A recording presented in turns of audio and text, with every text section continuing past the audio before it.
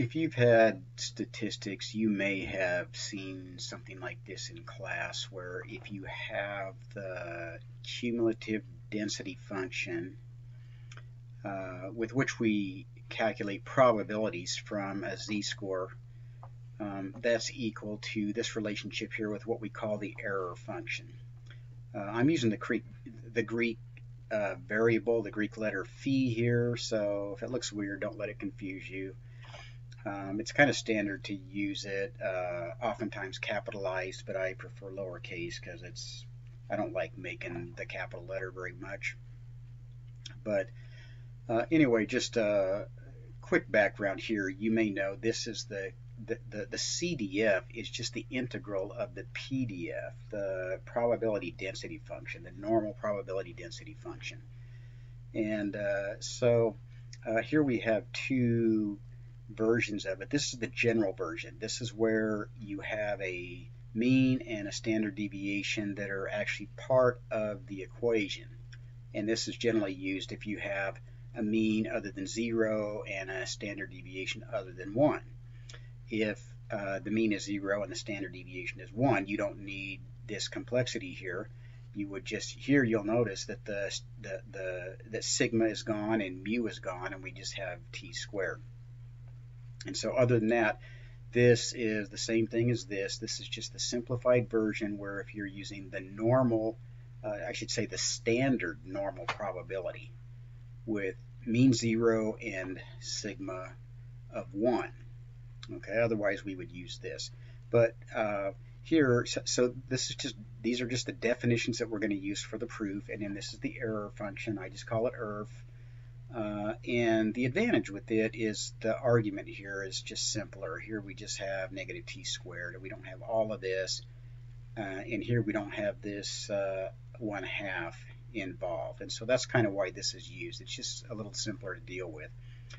We're going to do this in two steps. First, we're going to start out by proving this, that if you have the general CDF uh, and you just enter in x, that's the same as having the simpler version, the standard normal version, where you plug in the entire z-score, which has x and mu and sigma in it. That's a little intuitive anyway.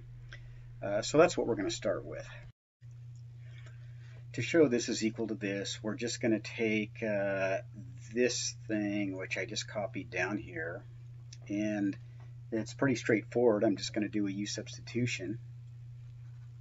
We're going to make u equal to t minus mu over sigma, and when we do du, we're going to get 1 over sigma dt. I'm going to multiply both sides by sigma, and that way we see we can replace dt with sigma du. And so when the du goes here and sigma, which is a constant with regard to this integral, can just come out front and that's going to cancel with this sigma. And so what we're going to get is sigma gone here. We're going to get e to the negative 1 half. This is all u squared du and when we change the bounds of integration, we're going to get, uh, when t is negative infinity, if you think about it, then u is going to be negative infinity. When t is x, u is going to be x minus mu over sigma.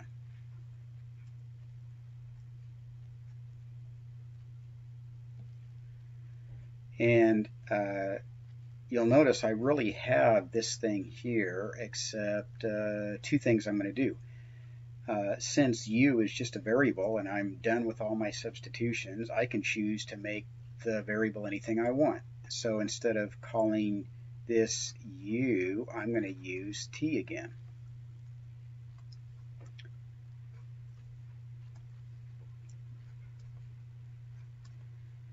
Okay, and uh, you'll notice here what I really have.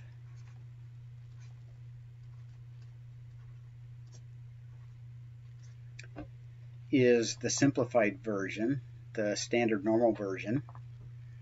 Uh, and here, if you think about it, X is my input, so this is where the input is actually plugged in.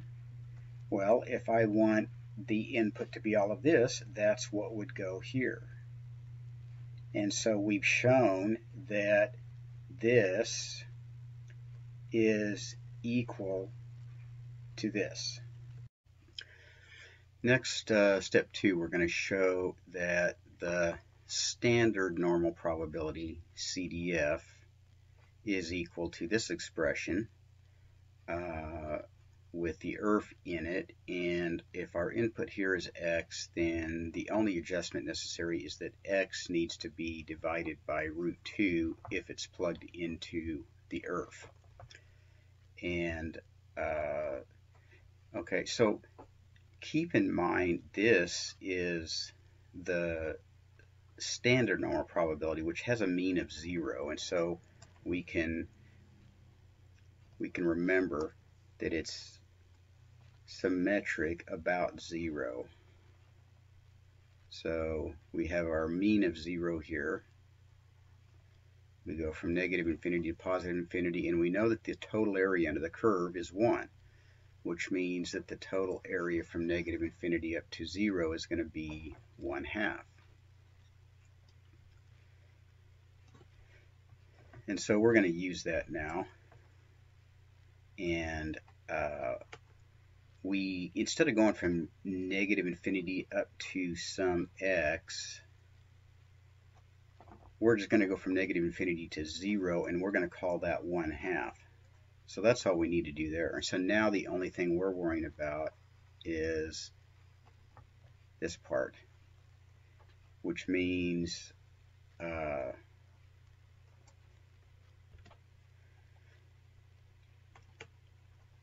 we can write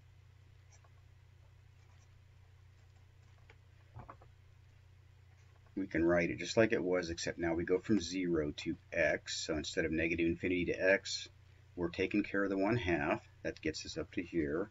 And now we're integrating from 0 up to some x.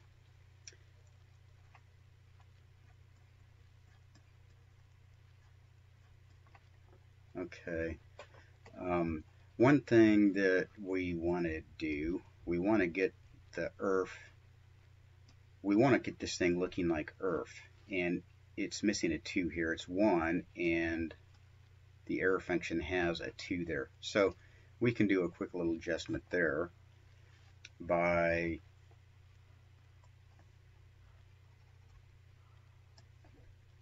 let's go ahead and put a 2 here and multiply it by 1 half. And now we have something equivalent. Okay, now another thing we're going to do is do our u substitution.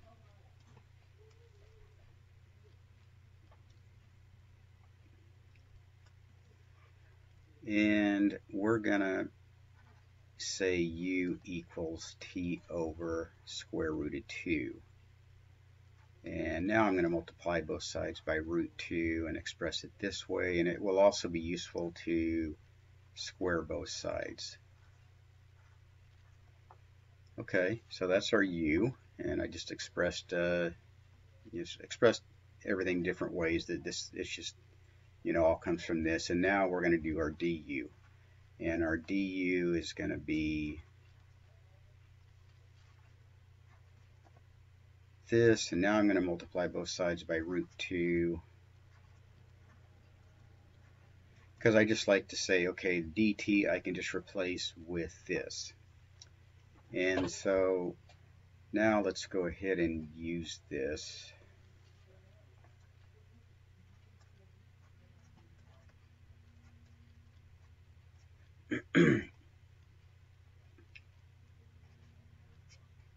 uh, root 2 pi, I'm going to just write it separately. We know this is this is the same thing as this.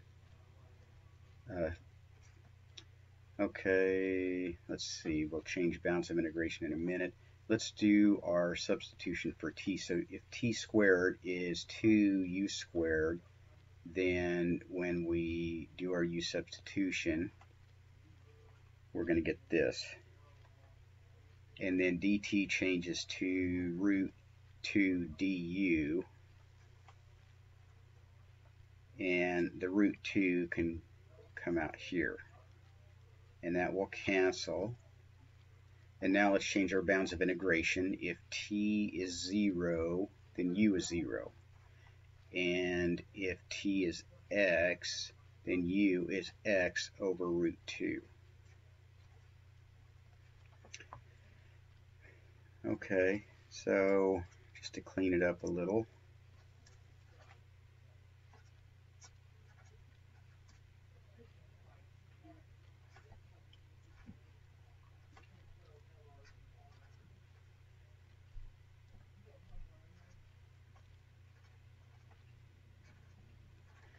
And now this is a complete change. Since we changed our bounds of integration, um, I could call u anything I want.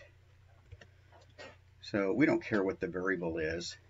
So I'm going to go ahead and just call the variable u the variable t again.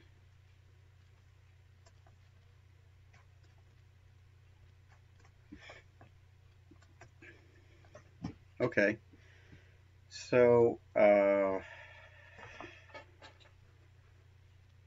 let's write one more line. Actually, actually two more, I think. We're almost there.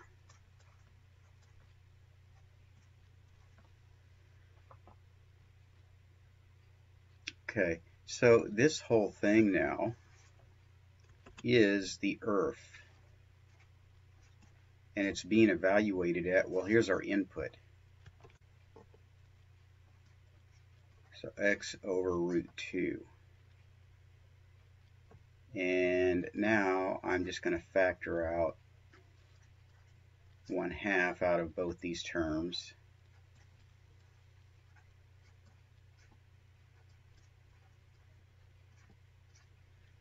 And this is now what we had here. So we have shown that this, the standard normal probability function, or CDF, CDF um, evaluated at x is equal to this here, which is the ERF function evaluated at x over square root of 2 and then of course this other stuff. And so uh, now we're just about done with the proof. We just need to make a general conclusion. Okay, so we just showed that this is true. And this is our goal. We want to show that the general normal CDF evaluated at X, because remember the general already has the mean and the standard deviation in it. Well, if we take this and we plug in x, that's the same as doing the ERF with, you know, these other numbers here. But the point is, we it's easier to use ERF than it is this thing. And we can do that as long as we, when we plug into ERF, uh, we plug in this entire, you know, this would be a z-score, and we divide that by square root of 2 and that's all we need to, to do to make these equivalent. Well, okay, so let's look at let's look at this the, these two statements here now. So we've concluded this is equal to this, and this and this are the same function. This is the standard normal CDF. So what we're going to do here is let's just take the standard normal CDF and we'll make the input this thing.